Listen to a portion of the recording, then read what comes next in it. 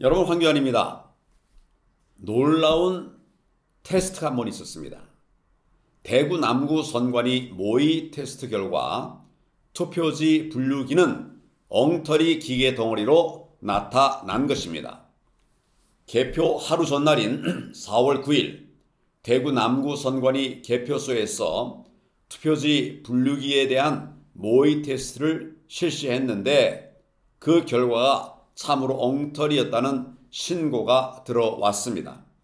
투표지 300장을 가지고 투표지 분류기 5대에 3번씩 테스트를 해 봤는데 정말 맙소사. 그 결과가 매번 다 다르게 나왔다고 합니다. 여러분, 도대체 이런 엉터리 투표지 분류기를 어떻게 믿으라는 말입니까?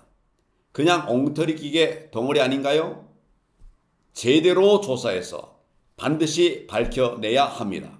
오직 당일 투표, 당일 수개표, 그것만이 답입니다. 국민 여러분 함께 해 주십시오. 감사합니다.